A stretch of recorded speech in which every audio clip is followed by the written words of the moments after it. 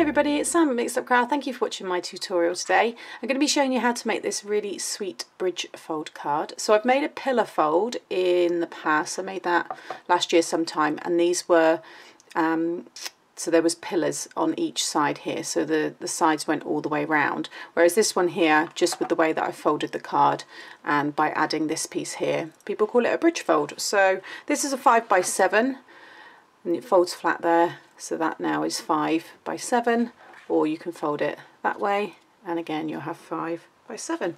Really really cute. And I just thought I'd bring up closer here so you can see this really fun llama. And I will share with you the die set in a moment. And it's just really really fun. The papers here as well, I'll share all of that. But really simple, really effective, stands up perfectly and yeah just think another fun fold card. Okay, so you're going to need, I've got here the Chasing Rainbows papers. So I've used the floral design, which is the reverse of this one. So you've got the unicorns on one side, and then you've got that beautiful floral prints. That's what I've used. And then for the background, you probably can't really make it out, but can you, yeah, you can just see the shine. So it's this one here, which is the really nice um, holographic um, sheets that you get at the very bit front of both the paper packs. This is the 6 by 6 it's on the 12 by 12 as well, but I've also done it on here. So there is a mat and then the layer. And you can probably see it a bit better on the back there. You can see there. It's really, really lovely. And that's one of the dies as well, Llama Love. Forgot to share that one. So you've got plenty of room to write your message on the back.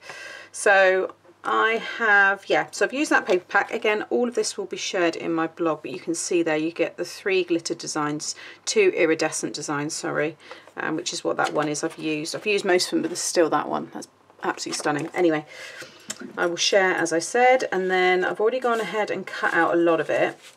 Then the die set is this one here, and like I said, it's so much fun. So this is the new first edition dies or rebranded. So a lot of them, they've had the packaging changed, updated. This is just called Llama. So it's really fun. I've already linked these in on my Amazon storefront and I'll share any other links as well. So yeah, I think it's a good one to have in your stash. I've really enjoyed playing with this. Um, you've got the avocado, watermelon, little kind of bunting flags. You've got singular um, bunting there, so that's just the one piece so you would do more and more and then you can join them together. Little cactus and then a llama love. So that's the one I've used there. And then for the stamp I had this one here which is the Sweet Dixie party animal and it's the llamas. So the sentiments on this work perfectly with the dies so it'd been quite nice to kind of um, mix and match these ones. So I used that one there a llama wish you a happy birthday and that's what I've stamped at the bottom there. So yeah really has come together quite nicely this one so let's just pop that there. And then these are all the bits which I'm going to talk you through as we go. So first of all, so this is a piece of seven by seven, okay? And you want to score at one and six, then flip the card, don't rotate it, just flip it and score at two and five. And as always, just by flipping the cardstock, it allows us to fold the card in the different directions which will then prevent cracking. Okay, so that's all of that you need to do. You don't need your scoreboard anymore, so I'll remove that. So I scored at 1 and 6, and then flipped it over, and then I scored at 2 and 5. Then flip it back. So you want it when you originally scored the 1 and the 6, okay? And then what you're to do is fold those two out, because we've scored them in the right way, like so. All right, and then the other ones you're going to fold in, like so. Again, I'll grab my bone folder, just burnish those score lines, and then you will have that shape. Okay, so that's the one and the uh, six score line, and that's the two and the five, like so. So it will stand on its own there. Then to put the bridge part on it, you will need a piece. I'm going to bring in my small scoreboard just to give you the measurements. So this small piece here is 5 by 1 and that is going to go across here. Now you don't want to stick it down yet because um, we've got our mats and layers to put on. But it's entirely up to you where you want to put this. You might want to put multiples. So you might want to have one there another one in the middle one at the top. You might just want to have one right at the top there and you can have something hanging down. There's really you know quite a few fun ways to do this but whatever you do make sure you keep it straight okay? So that's that and that piece and then it's all down to our mats and layers. So this is for the back and I've already stuck the top piece on. And you'll see there it will sit perfectly in that uh, 3 by 7 section on the back there. So the top mat is 2 and 7 eighths of an inch by, this one would have been just one increment down, so 6 and 7 eighths of an inch. Okay. And then the layer on top is 2 and 3 quarters and then it's by 6 and 3 quarters. Okay, again all these measurements are in my blog but that's going to go on the back. And then for the front Again, I've got the same size, so this piece here again is 6 and 7 eighths of an inch by 2 and 7 eighths of an inch. I've then gone for this pretty matte sorry, layer to go on top, which again is 2 and 3 quarters by 6 and 3 quarters. Okay, and then for all these side pieces, so all of my mats are going to go in these pieces here. All right so like so. And these measure 7 eighths of an inch because this is one inch wide so it's just gone down slightly. So 7 eighths of an inch again by yeah 6 and 7 eighths of an inch okay? And then the layers to go on top. And you'll need four of each. And these are three quarters of an inch by six and three quarters. Okay, so you can see there how all the measurements work. Um, so they all fit perfectly together. And then this is my layer to go on top of that little bridge piece here. It's the same width I'm keeping it the same width I'm not doing a little border on the edges there. You can see it goes right off the edge. So it's the same width so it's five inches and this one is just by seven eighths of an inch. Okay so that's all the mats and layers. I will stick them all down in a moment. I just wanted to talk you through a little bit with the dies. So this is what the llama looks like when you die cut it. Aren't they adorable? really, really love them. So they are just spare ones. The one I've actually done is I die cut it here and I've stuck it onto some white cardstock because I wanted to just make it a little bit stronger so you can see here, it's a really strong little die cut. Just on its own, like this, it was just a little bit flimsy. Although I have just die cut that on the paper that came from the paper pack. So if you die cut it obviously on a thick cardstock, you can then use your inks and you can, you know, do like a blended look and colour it in and stuff. So there's lots of fun ways, but I want to do a little bit of paper piecing. So I've just stuck it onto this white piece here. And then I've gone and die cut it again. That's my little bunting bits, which I'm going to be adding. I've already done my, look how cute they are, my watermelon, my avocado and my cactus. So, so cute. I really like those. So I've already gone and done them. And the way I've done them is the same way that I'm going to be showing you this one here. So I've die cut it in the yellow, stuck it down, and then I went and die cut it again in this colour. And then you can see here, these are the bits that would have been, so you can see where that piece was like in that little kind of saddle. And then these are the bits that were in between the legs. So I'm keeping those and I'm going to paper piece and pop them back in to these bits okay? And that's how you can kind of just create and kind of bring it to life a little bit more. Now the face I am keeping white.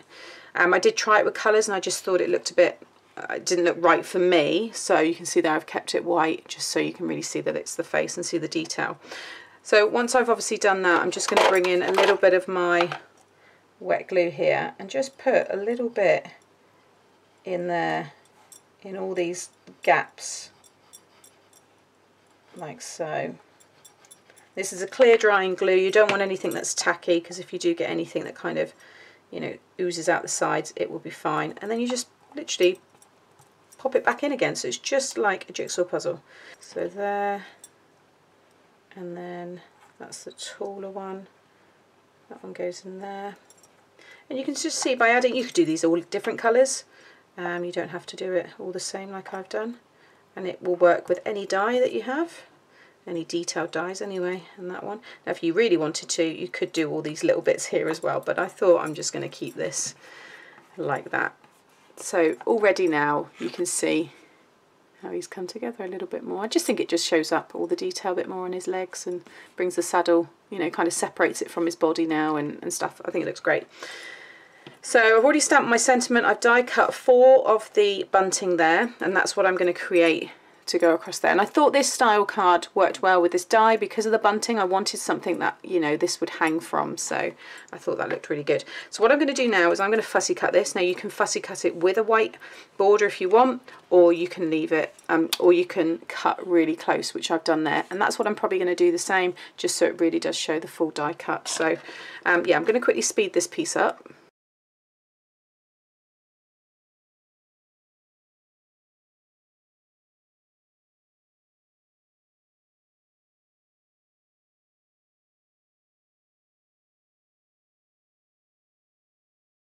Okay, so now there's my llama.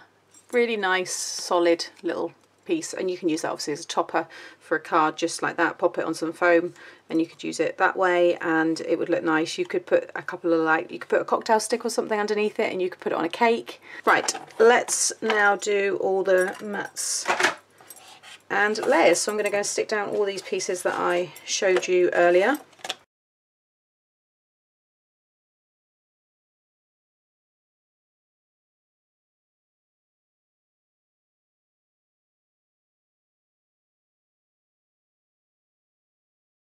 Okay, so that's my card now with all the mats and layers on, and I've got the back there. I'll make sure I got it the right way because I've already popped that on there. So now I'm going to add the bridge part. So I'm just going to cover this with my lovely iridescent card there. So like I said, this is the exact same length. It would just give you a border on the top and bottom, which I thought looked quite nice, like so again if I just share it there you see it's just got this beautiful lovely for mermaid tail and things like that or unicorns which obviously well no, yeah chasing rainbows it does it has the unicorns in it. So now what you want to do is you want to decide where you want it. Now because I've got my little llama here I want it to obviously attach to that enough but I want the legs to kind of hang down you can see how cute that's going to look against that card there. So I am going to have it about one inch up from the bottom. But again, it's entirely up to you because I've got that bunting that's going to be coming down from the other side there. And this is one inch wide, so I know I just need to pop some of my runner tape here, just covering one inch there on each side. Ooh.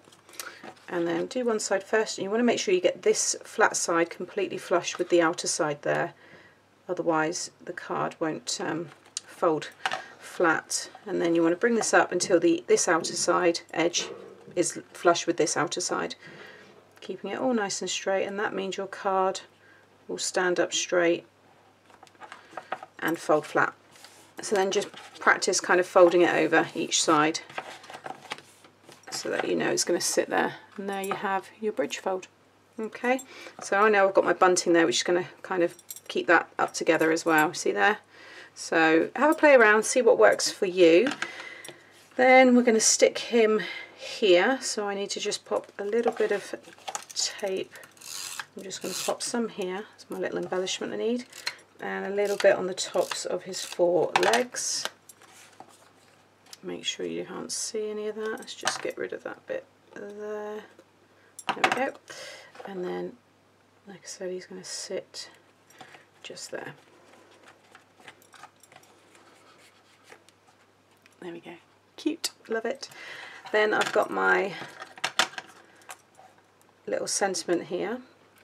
And I've popped this on some foam adhesive because I'm going to kind of sit the bits here. So the cactus, the avocado and the watermelon is going to sit behind it. So kind of got it overlapping onto the llama there. Love it. And then I'm just going to pop some little bits of tape. Um, let's do it a little bit differently this time. So I'm going to have that one there. I'm going to have the avocado over to this side and then I'm going to have the cactus in the middle. And just have it kind of popping out like so. There we go. How lovely does that look? And then with this, what I've done is I trimmed off the outer little bits there, which are obviously acting as the string, but I actually join them right up. So I'm just going to do that on all of those. Okay, and then I'm going to use a little bit of wet glue for this just because it's so detailed. I'm just putting a little dab of glue and then the whole thing I kind of like spread right out. So I want to stick it as close to it as I can without it really kind of you know changing the look of the bunting without those little bits on that I just cut off. So like so and then that last one. And four of these fit perfectly across the five inch width of the card okay so that's now dry and you'll see what I do is I line up the top ones completely flush with the top that one and that one. Bring them right up to the outer edge like so and then as this kind of moves around once it's stuck down it will kind of go where you want it. So I'm going to pop a little bit of glue on that one. And I'll be finishing it off with those little embellishments that I have here just on the top again this glue dries completely clear and uh, it's not tacky and then you can kind of move this around and have it once it stands up it dangles down. You can see there I like how it moves as well. I think it looks really cool. And then these ones here I'm going to use a little bit of my silicone glue because I've got these little plastic embellishments I just don't want them coming off so I'm going to pop that one just at the top and these are from um, the uh, like little kits and stuff I just from years ago I mean they're just those they're almost like it's from like more the kids crafts but I thought they work really well with this so I used the pinky ones on that one there. I thought they complemented the iridescent card there and just the flower colour in the actual papers. And then these ones here again work really well. They go well with the llama. And again, I think the iridescent just brings out any colour, doesn't it? But there you have it. So you've got really cute bunting and such a pretty card. Love these. Really enjoyed using the, um, the dies. I did share all of the dies that I received over on my Facebook group and on Instagram. So you're going to see them featuring quite a bit this week because I just wanted to kind of sit down and really use them, you know, in the whole set. So yeah, you see that they stand up lovely. And there's the two cards. Both folding completely flat, easy to post and pop in a 5x7 envelope. So hope you've enjoyed it. Hope you like this bridge fold card from me today and I'll see you again soon for another tutorial. Thanks for watching. Bye.